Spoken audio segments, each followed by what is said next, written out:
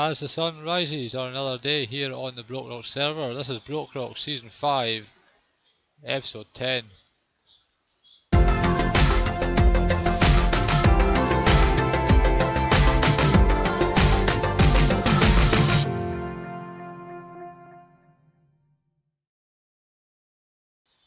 Good morning, good afternoon, good evening. My name is Kai, and yes, we are here on the Broke Rock server. I really did enjoy that sunset up there from the roof of the castle. The castle is actually where we're going to start today's episode because we have a secret. If we head inside of our castle, if you remember we had these rooms on the four corners, there hasn't been any progress made to the actual physical castle itself apart from these pictures. I have got this little room here set up. Uh, the design on this will change slightly. It doesn't look very pleasing at the moment. It is only really for the fact of this button and this floor design. Because I was speaking with Voided and Lost, and he found a version of this condensed down the redstone, and we have a new trapdoor.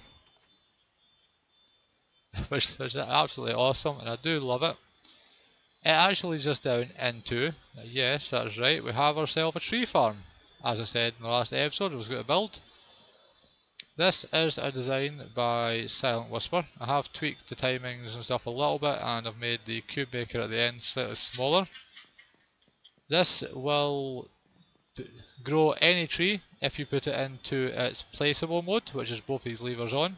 If you just have it on the bottom lever, it just constantly bone meals these moss blocks. That's dirt at the moment because once that bone meal dispenser will change it into moss and so on. So I am going to put it in place for mode, you know, just to show how it does work. I have got a little bit of bone meal here. Take the 31. Uh, this will only fire off the top piston and it will basically just grow this tree. Really simple like that. It does that for everything. Do it for birch.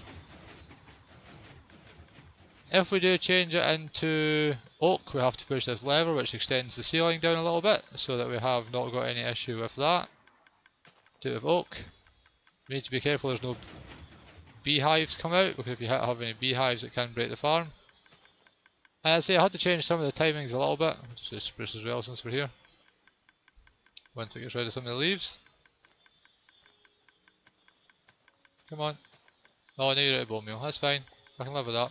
But I say, it does everything and it collects all the drops, which is absolutely cool. The AFK mode is pretty much the exact same thing. It'll let that filter through. Put some more bone meal in here, just a little bit. I'm not going to spend all day here. And basically you can just stand here, as long as you put a bone meal on you can stand here AFK and it'll just constantly keep breaking this whatever appears here over and over again. Eventually you get an azalea tree because it has a moss block and it pushes it around into the cube maker, I'll leave that running, there's not much bone meal. And obviously we'll have the cube at the end here, which will, you know, it's pushed by this, as you can see from this side. The thing seems to be super reliable, there's a couple of bits and pieces I'm still looking to tweak on it, I would like to have an, a way to automatically input the bone meal and stuff.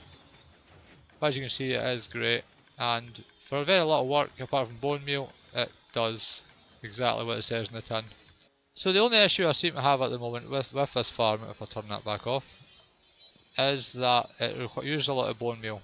In the last episode we obviously had a look at the little cheaty bone meal farm that we have over here.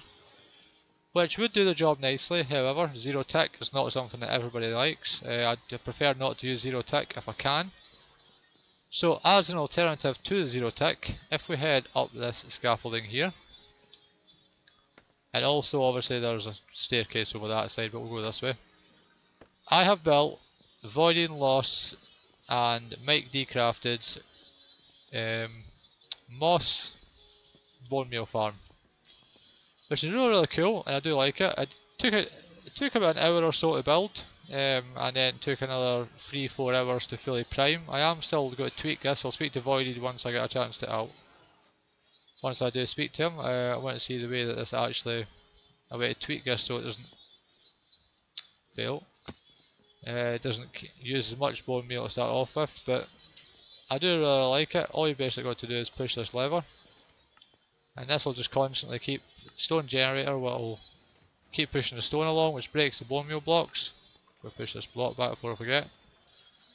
as you can see, pushes it down into this end here, into the composter, which is at the bottom there, pushes the bone meal up into this water stream. This um, lectern with book here is what's controlling how much bone meal goes into the actual main input chest.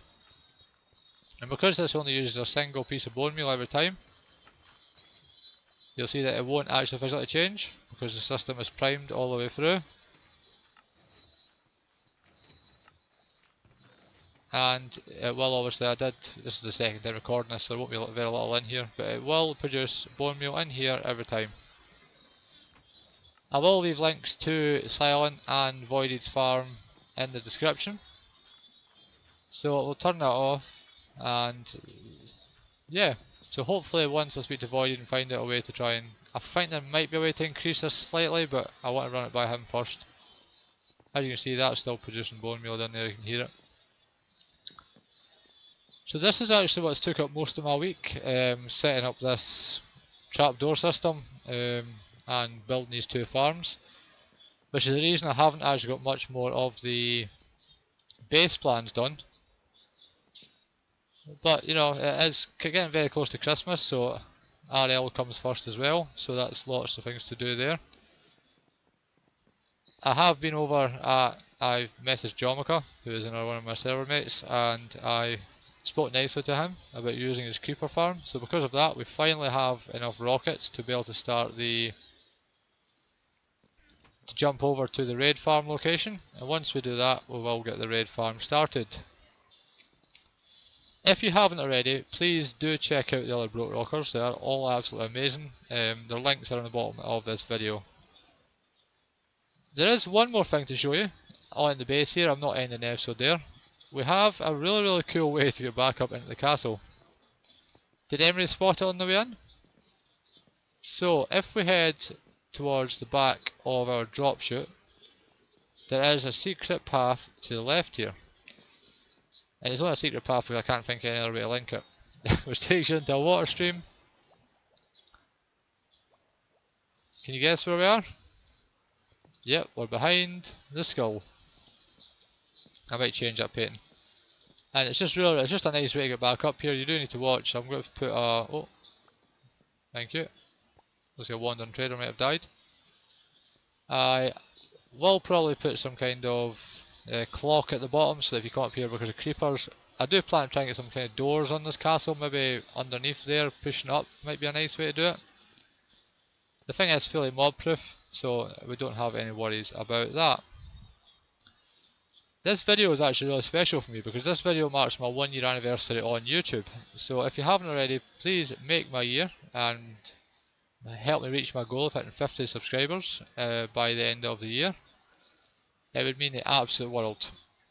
Uh, if you haven't already, also push that like button, share to your friends, and if you leave a comment in the comment section below, I will reply to each and every single comment.